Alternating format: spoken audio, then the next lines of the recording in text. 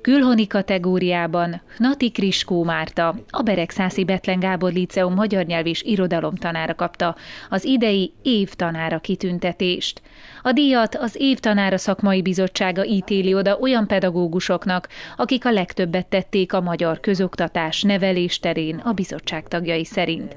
A jelölés teljesen nyilvános volt. Diákok, pedagógus szervezetek és pedagógusok egyaránt jelölhettek. Összesen mintegy száz jelölésből választották ki a díjazottakat.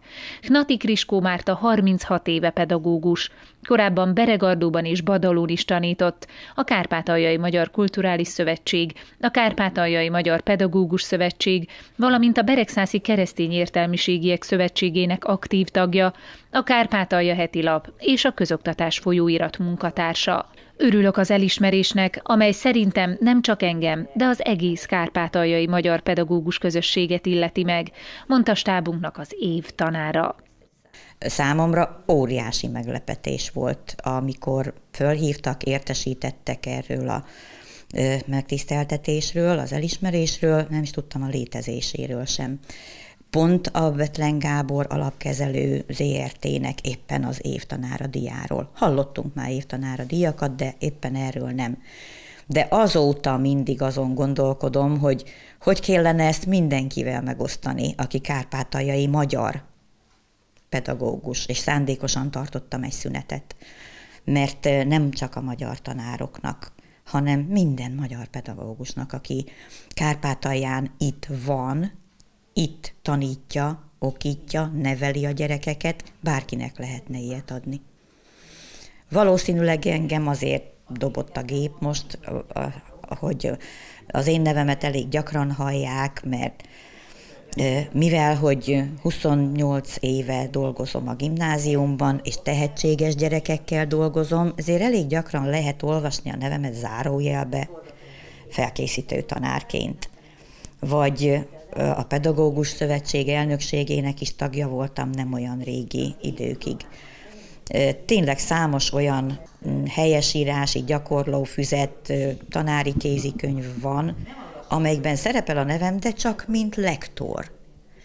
Úgyhogy nálam nincsenek nagy dolgok, nagy kiemelkedő dolgok, csak a sok kicsi sokra ment és nagyon sokan vannak ilyenek Kárpátalján, akik a mindennapos munkájukkal, mint ott Vas Albert előszavában, homokszemekből tornyot építenek, oszlopot, bocsánat, oszlopot építenek az Istennek, és a homokszemeket köddel kötjük össze.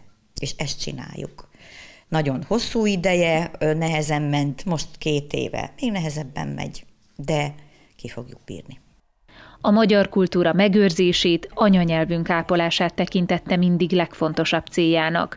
Mint elmondta, pályája során nagyon sok mindenkinek hálás azokért a dolgokért, amiket kapott pedagógus társaitól, és természetesen diákjaitól is, akiknek a tablóit büszkén mutatta meg stábunknak.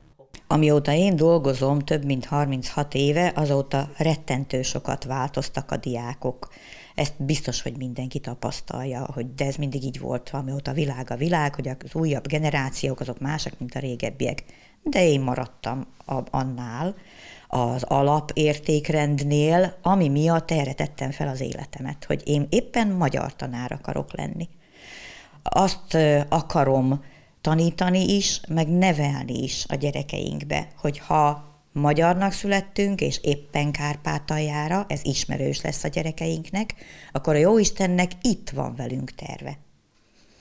Aztán lehet, hogy valakik elmennek máshová, de akkor az biztos a tervnek egy másik oldala. Én azt szeretném a gyerekeknek szoktam mondani, hogy ha csak két dolgot képesek megjegyezni abból, amit én tanítok, akkor az egyik feltétlenül az legyen, hogy minden mindennel összefügg. A másik viszont rögtön az, hogy a magyarok hazája a Kárpát-medence.